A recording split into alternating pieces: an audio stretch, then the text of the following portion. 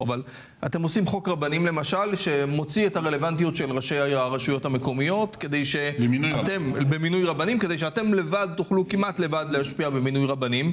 זה גם צעד דרקוני שאתם עושים אותו... אבל להפך, דווקא אפרופו הסכמה, בוא נלמד שהחוקים האלה למשל מתקדמים בוועדה של רוטמן, לא בוועדה של מישהו מש"ס. זאת אומרת, אתה מבין שאנחנו בעצם מבקשים כמה שיותר הסכמה, לא רק מאנשי ש"ס.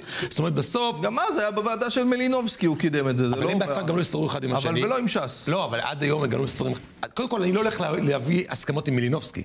מי שחושב שאני הולך להביא רבני ערים... לא, אתה מזכיר מישהו מהצד שלך, מהקואליציה שלך, שאצלו אתה מעביר. מה זה מהצד השני? לא, אבל כולם יודעים שבנושא רבנים, בסוף, ש"ס, הציונות הדתית, היו אמורים לריב, אבל אתה רואה שלא. אתה רואה שאנחנו עובדים בשיתוף פעולה מלא עם שר האוצר, עם הציבור הדתי-לאומי. מינינו רבנים, עשינו, הקמנו גופי בוחר שייכים לרבנים שלהם, כנ"ל במועצות הדתיות. אני לא חושב שהייתה מעולם עדנה בין הציבור הדתי-לאומי, הציונות הדתית וש"ס, כמו בתקופה הזאת. הם יאמרו לך את זה בדיוק כמו שאני אומר לך את זה.